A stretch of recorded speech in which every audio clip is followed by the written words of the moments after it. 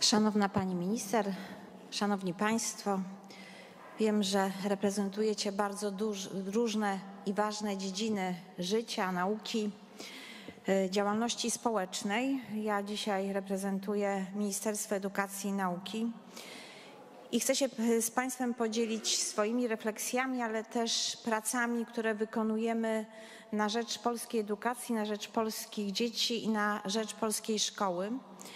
I tak sobie pomyślałam, że chyba to, co najważniejsze, y, warto zacytować, ujął Jan Paweł II. Może od tego cytatu swoje wystąpienie zacznę, że w wychowywaniu chodzi właśnie o to, ażeby człowiek stawał się coraz bardziej człowiekiem, o to, ażeby bardziej był, a nie tylko miał, aby, aby więc poprzez wszystko, co ma, co posiada, umiał bardziej i pewniej być człowiekiem.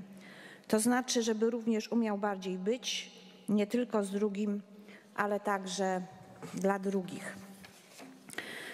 Ten cytat bardzo mocno się wkomponuje w misję, którą realizuje, misję tak zwanej edukacji włączającej szkoły dostępnej dla wszystkich uczniów, szkoły realizującej y, taką misję, taką funkcję, która pozwala każdemu dziecku, niezależnie od jego predyspozycji, ograniczeń, talentów, y, y, rozwijać się na miarę swojego przyszłego życia, by pełnić te role społeczne, role rodzinne, role zawodowe. Ale drugą kwestią, którą się zajmuję, jest kształcenie branżowe i techniczne. Ono też dostosowane tutaj w strategii demograficznej jest mocno zaznaczone, dostosowane do potrzeb rynku pracy i predyspozycji e, młodych ludzi też spełnia bardzo ważną istotną rolę i funkcję związaną z przygotowaniem do przyszłego życia i do przyszłych ról. Też istotne przedmiot, który temu jest poświęcony, który jest skierowany dokładnie do wychowania do życia w rodzinie, też przykładamy do niego ogromną y, wagę i to jest trzecia kwestia, którą chciałabym poruszyć, ale wychowanie do życia w rodzinie to nie tylko przedmiot, to nie tylko kurs, który pokazuje, jakie, y, jakimi wartościami powinien się człowiek kierować, ale właśnie wychowanie do życia w rodzinie temu służyć powinna y, cała edukacja, edukacja, która rozwija uczniów, wychowuje, daje umiejętności, daje możliwości y, i to powinno się dziać w procesie w różnych miejscach, na różnych przedmiotach. Sam kurs wychowania do życia w rodzinie, sam przedmiot, który jest przez kilka lat i jest to ograniczona mm, liczba godzin, jest bardzo istotny, żeby wypunktować pewne kwestie i nawet rok 2020-2021 Y, stał się rokiem, w którym jako jeden z ważniejszych celów polskiego państwa i w tym edukacji było podkreślenie zadania szkoły, jakim jest wspomaganie wychowawczej roli szkoły, między innymi przez właściwą organizację zajęć edukacyjnych, wychowanie do życia w rodzinie oraz działań profilaktyczno-wychowawczych. Jedną z kwestii, jak powiedziałam, którymi się zajmujemy w Ministerstwie Edukacji, ale wspólnie z Ministerstwem Rodziny, Ministerstwem Zdrowia i mam nadzieję, że uda nam się to dalej wypracowywać i rozwijać, jest y, takie podejście do problemów, z jakim może się borykać rodzina, by ją wesprzeć, pomóc i pomóc przede wszystkim dziecku. A myślę teraz o takiej sytuacji bardzo istotnej, ważnej. Tutaj Jesteśmy, myślę, wszyscy zgodni, że każde życie jest ważne i że chronimy życie od poczęcia, ale w sytuacji, kiedy to życie jest zagrożone chorobą, niepełnosprawnością czy zaburzeniami rozwoju, w związku z tym przygotowujemy i bardzo mocno realizujemy program, program wczesnego wspomagania, wsparcia dziecka i rodziny. Program, który tak naprawdę ziścił się już w programie Za Życiem Wtedy to właściwie rozwinęliśmy bardzo mocno wczesne wspomaganie dziecka. Wczesne wspomaganie dziecka i rozwoju w zasadzie to się wielokrotnie to wczesne wspomaganie mm, rozwinęło, bo y, dzisiaj mamy objętych ponad 60 tysięcy dzieci wczesnym wspomaganiem. O co chodzi? Jeżeli dziecko jest zagrożone a wiem, że tu są też lekarze, więc y, mówię do osób, które doskonale to rozumieją, ale jeśli dziecko z jakiegoś powodu po wykryciu ewentualnych zagrożeń y, w rozwoju jest objęte w zasadzie od pierwszych tygodni wczesnym wspomaganiem, to jest szansa, że te zainwestowany czas i środki spowodują, że już w wieku szkolnym wiele jego problemów będzie zniwelowanych. Byłam na takiej konferencji międzynarodowej, która się zaczynała, że zmienić początek historii to zmienić całą historię. I to wczesne wspomaganie, dobrze skoordynowane, bo na to są ogromne środki, jest kwestia koordynacji, może zmienić historię, a później życie dorosłe ludzi, bo przecież o to chodzi w naszych działaniach nie tylko Ministerstwa Edukacji i Nauki, ale i też Ministerstwa Rodziny, Ministerstwa Zdrowia, żeby młodych ludzi, dzieci w przyszłości wychowywać do pełnego uczestnictwa w życiu społecznym, a więc i zawodowym, a życie zawodowe dobre, udane sprzyja i samodzielność w tym życiu sprzyja też zakładaniu rodzin i satysfakcjonującemu życiu rodzinnemu. E, to jest po pierwsze i to bardzo jest ważne, że, że to powstało, że mamy wiodące ośrodki koordynacyjno-rehabilitacyjne. W zasadzie program Za Życiem był tym pierwszym programem, który tak do tego Y, tak y, zorganizował współpracę między Ministerstwem Zdrowia i Ministerstwem Edukacji. Y, powstało 305 prawie w każdym powiecie tych wiodących ośrodków koordynacyjno-rehabilitacyjnych, ale uważamy, że to powinno być rozwijane i przeniesione na cały okres szkolny.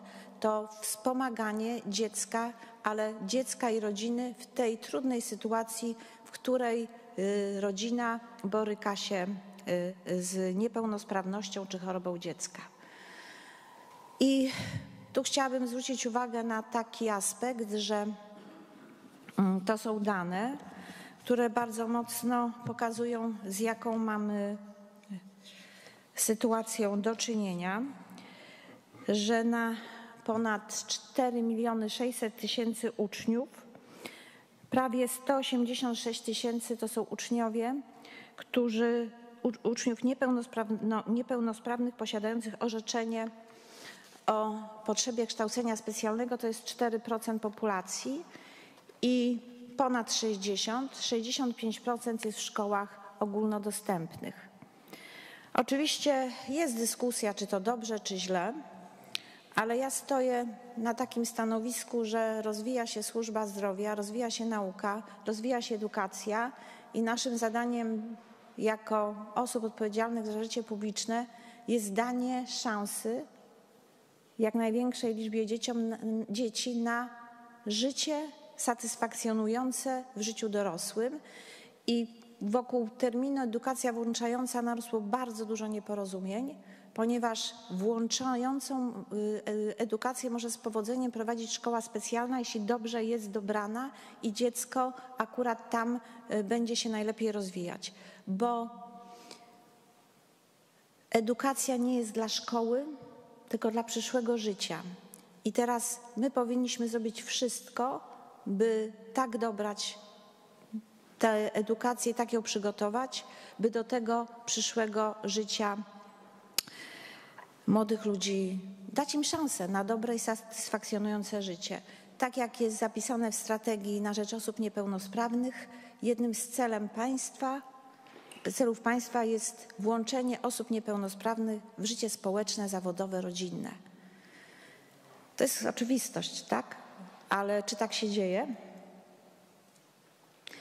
Powrócę do tego cytatu Jana Pawła II, który mówi, żeby być dla drugich. I dzisiaj generalnie często spotykam się z takim podejściem, tak, każde życie jest ważne, a już szczególnie ważne są osoby z problemami ale często jest następne ale, tylko żeby nie przeszkadzały te dzieci w szkołach ogólnodostępnych. Powiem brutalnie, często się z taką opinią spotykam. Oczywiście, że chodzi nam, żeby wszystkie dzieci otrzymały jak najlepszą edukację i ta edukacja, żeby była pełna i satysfakcjonująca dla wszystkich, musi być dobrze przygotowana. I dlatego dzisiaj, kiedy wykonując wszelkie konwencje na rzecz osób niepełnosprawnych, rodzice, do, y, rodzice mają prawo do wyboru szkoły, szkoły, która jest jak najbliżej rodziny, bo to jest prawo rodziny, że jak ma nawet dziecko niepełnosprawne, to nie oddaje do ośrodka o 20, 30 czy 100 kilometrów dalej, tylko jest tym dzieckiem. To dziecko może chodzić do przedszkola, do szkoły, która jest blisko miejsca zamieszkania, jest też ze swoją rodziną. Bo najlepszym, po pierwsze, terapeutą dziecka jest jego rodzic i tu trzeba go wesprzeć. Po drugie, mm, y, najlepszym terapeutą w klasie jest kolega z ławki. I bycie z innymi i dla innych, nie tylko myślenie, że szkoła to wyścig szczurów, kto będzie najlepszy kosztem innego ucznia, tylko uczenie człowieczeństwa jest też przygotowaniem do pełnienia ról społecznych, bo bycie w rodzinie to często umiejętność ograniczenia się na rzecz drugiego człowieka, przyjęcia z całym dobrodziejstwem tego, co niesie małżeństwo, dzieci.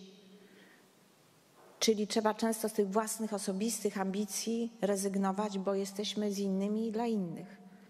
I jeśli nie będziemy tego widzieć od początku edukacji, od szkoły podstawowej, od przedszkola, że jesteśmy z innymi dla innych i wychowywać dla takich wartości, ciężko będzie później oczekiwać, że w życiu dorosłym człowiek będzie nastawiony też na bycie z innym, a nie tylko realizację własnych ambicji.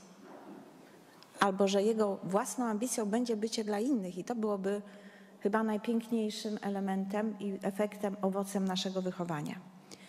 Oczywiście to jest proces, niczego nie wolno robić na siłę. Powtórzę, że włączającą edukację mogą z powodzeniem prowadzić szkoły specjalne wtedy, kiedy przygotowują i robią to w sposób znakomity. Takie szkoły, ośrodki specjalne odwiedzam, ale część dzieci, które ma deficyty, może być w szkołach ogólnodostępnych i naszą ambicją powinno być i jest stworzenie takiej szkoły, żeby jak najwięcej dzieci miało szansę w życiu dorosłym w pełni, jak najpełniej realizować potrzeby bycia społecznego z innymi i dla innych, przygotowując do tych ról. Szkoła wtedy będzie spełniać swoje zadanie. Mówiłam o programie Za Życiem, mówię o wczesnym wspomaganiu dzieci, mówię o przygotowaniu też nauczycieli do tych ról, które już pełnią i często są zaskoczeni albo nie mają odpowiedniego wsparcia. Dlatego też naszą ambicją było takie dofinansowanie szkół i by do szkół trafili specjaliści, nie tylko po to, żeby pracować z konkretnym dzieckiem, ale wspierać nauczycieli, którzy pracują z dziećmi. Dlatego od 1 września trafiło 520 milionów do szkół na zatrudnienie specjalistów, takich jak pedagog specjalny, pedagog też, ale pedagog specjalny, psycholog, terapeuta, logopeda, neurologopeda. Ja wiem, że y, znaczy, teoretycznie nie ma problemów, jeśli chodzi o wykształconych ludzi w tych dziedzinach, natomiast są w różnych ośrodkach, jest różne nasilenie y, czy, czy y, różne nasycenie tymi specjalistami, dlatego też otwieramy studia, otworzyliśmy już, są studia podyplomowe finansowane przez Ministerstwo Edukacji i Nauki w takich kierunkach jak wczesne wspomaganie rozwoju i wsparcie rodziny, praca w klasach zróżnicowanych, doradca rodziny i wspieranie komunikacji językowej. Chciałabym jeszcze raz wrócić do tej roli doradcy rodziny. Bardzo nam zależy, że w sytuacji, w której rodzina dowiaduje się, że dziecko po trudnym, ciężkim porodzie może być zagrożone niepełnosprawnością, nie zostaje z tym, ta rodzina nie zostaje sama. A dzisiaj często zostaje sama. I gdy ktoś by w szpitalu, w wielu szpitalach wojewódzkich, nie jakichś prowincjonalnych, zapytał lekarzy, którzy takie, taką rodzinę wypuszczają do domu, co mają dalej robić, to najczęściej jest pustka. Nie zawsze, ale bardzo często jest pustka. I my powinniśmy stworzyć taki system, by dzieci, rodzina, że doradca rodziny może się skontaktować z taką rodziną i powiedzieć, tu i w tym miejscu może być wsparcie takie, tak, dodatkowa diagnostyka, takie zajęcia, takie zajęcia logopedyczne, taka terapia, takie wspomaganie, y, bo tak może być i wiem, że wiele poradni psychologiczno-pedagogicznych tak działa, ale nie wszędzie. Znam takie poradnie, które już właśnie na oddziałach położniczych są ich ulotki, że w takiej sytuacji proszę się zgłosić tu i tu, ale chcielibyśmy, żeby to był standard. I to jest bardzo ważne, takie wsparcie rodziny, by w tym momencie nie zostawała sama. Wtedy, dając takie poczucie bezpieczeństwa, możemy bardzo wiele zrobić dla tej rodziny, bo ona chciała mieć dalej dzieci, żeby się nie zraziła, żeby ją było stać na kolejne dziecko, bo niepełnosprawność bardzo mocno uderza w podstawy finansowe rodziny. Jedna osoba na ogół nie może pracować, na ogół są napięcia, jest cierpienie, jest, są trudne chwile, więc my, mając takie podejście, takie e, zorganizowane, tak chcielibyśmy Centra Dziecka i Rodziny na bazie poradni psychologiczno-pedagogicznych, ale to jest przyszłość. Chcemy, żeby tych rolę koordynatora prowadziły poradnie psychologiczno-pedagogiczne, przy których często są właśnie te wiodące ośrodki koordynacyjno-rehabilitacyjne, żeby takie wsparcie systemowe, skoordynowane mogło trafiać do każdej rodziny, która otrzymuje bądź wie, że dziecko może mieć problemy rozwojowe. Ale problemy rozwojowe mogą być trwałe i przejściowe, dlatego bardzo ważna jest bardzo dobra diagnoza i dobre kierowanie środków do rodziny. W przyszłym roku na wsparcie e, psychologiczno-pedagogiczne, te dodatkowe na specjalistów jest zaplanowanych w budżecie dodatkowo, biorąc pod uwagę skutki przechodzące miliard trzysta milionów, to naprawdę jest potężne wyzwanie i potężne zadanie, ale generalnie już w tym budżecie, niezależnie od tych dodatkowych środków, y, skierowane, y, skierowana subwencja na dzieci ze specjalnymi potrzebami to jest około 11 miliardów. I teraz jest pytanie, ja to pytanie zadaję, czy one są właściwie wydatkowane? Czy dzieci, rodziny otrzymują odpowiednie wsparcie? No to wiemy, że różnie. I dlatego y, ta ustawa, którą przygotowujemy, nad którą pracujemy, o wsparciu ucznia i rodziny, uczniów i rodziny, jest bardzo istotna, bardzo ważna, żeby lepiej, trafniej i szybciej diagnozować potrzeby uczniów różne. Nie chodzi tutaj tylko o specjalne potrzeby, można powiedzieć, że każde dziecko ma indywidualne swoje potrzeby i w sposób spersonalizowany pomagać dzieciom się rozwijać i wspierać w sposób mądry rodziny. I to przed nami jest. Dzisiaj już wprowadziliśmy do systemu informacji oświatowej zmiany, by, by samorządy i szkoły wpisywały, jak wykorzystują to wsparcie, które otrzymują finansowe na rzecz dzieci i myślę, że y, będziemy to bardzo stanowczo, ale jednak konsekwentnie, mądrze realizować. Mamy w tej chwili specjalistyczne centra, to jest pilotaż wspierania edukacji włączającej. Mamy wprowadzane pilotaże oceny funkcjonalnej. Mamy pilotaże asystenta ucznia ze specjalnymi potrzebami. Przed nami y, właściwie y, otwieranie dodatkowych 200 specjalistycznych centrów wspierania edukacji włączającej. To są szkoły, ośrodki specjalne, które są dalej szkołami i ośrodkami specjalnymi, ale tworzy się taki bypass między tym ośrodkiem czy szkołą, a szkołą ogólnodostępną, w której też są dzieci ze specjalnymi potrzebami. Czy jest odpowiednie wykorzystanie potencjału, potencjału nauczycieli ze szkół specjalnych i Y, potencjału nauczycieli ze szkół ogólnodostępnych na rzecz rozwoju dzieci. Myślę, że tak jak patrzę na panią minister, powinnam zmierzać jakieś puenty, tak? Y, więc y, te zadania nasze są jako Ministerstwo Edukacji, jak powiedziałam, bardzo zróżnicowane. Ja się skoncentrowałam nad tym, nad czym w tej chwili pracujemy, jako jednym bardzo ważnym, istotnym aspekcie. Myślę, że będziemy coraz bardziej realizować te zadania i wspierać rodziny w różnych sytuacjach, Ale chcę jeszcze powiedzieć na moment o mm, kształceniu branżowym i technicznym. Jak rozpoczynałam w 2017 z kolei te zadanie, to 40% absolwentów szkół zawodowych trafiało na bezrobocie, a 30% techników, absolwentów technikum przy najmniejszym wtedy od ćwierćwiecia bezrobociu. Szkoły kompletnie nie były w wielu wypadkach przygotowane do tego, aby uczyć i dostosowywać rynek, y, swoje mm, zadania edukacyjne do rynku pracy. Dziś to się zmienia, zmieniło i y, mogę powiedzieć z całą odpowiedzialnością, że mamy przełom. Nie dość, że nie spada nam liczba uczniów, które, którzy wybierają kształcenie branżowe i techniczne.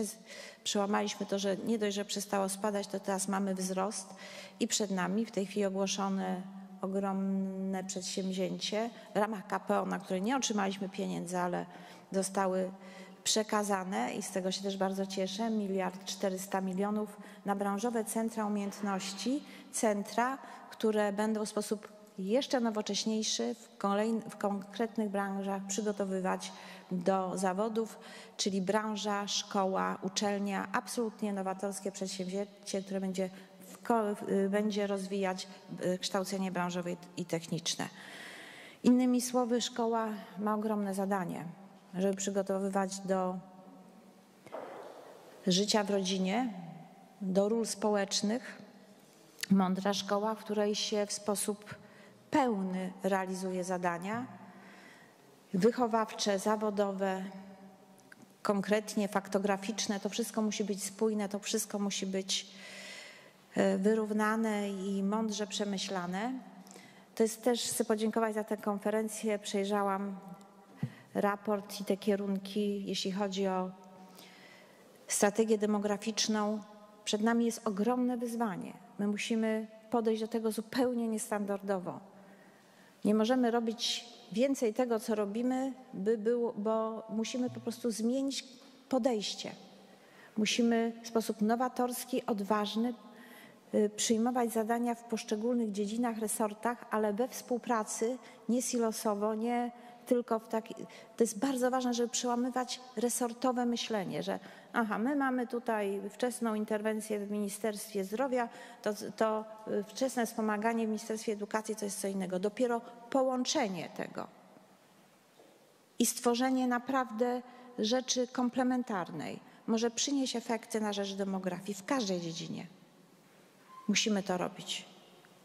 Tu nie możemy się zamykać w swoich gabinetach i sami tutaj wymyślać strategie bez innych, bo to nie przyniesie efektów i rzeczywiście walczymy o przetrwanie.